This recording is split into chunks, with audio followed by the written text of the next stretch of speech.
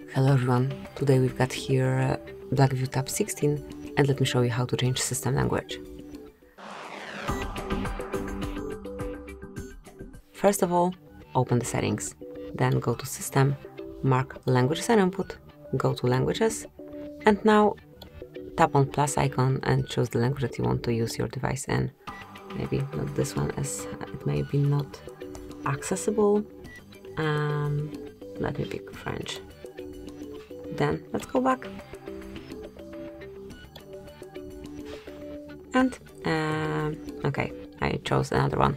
However, just slide the first place, the preferred language, and from now on it is a default one and you can smoothly use your device in selected language. Thank you for watching, please subscribe our channel and leave the thumbs up.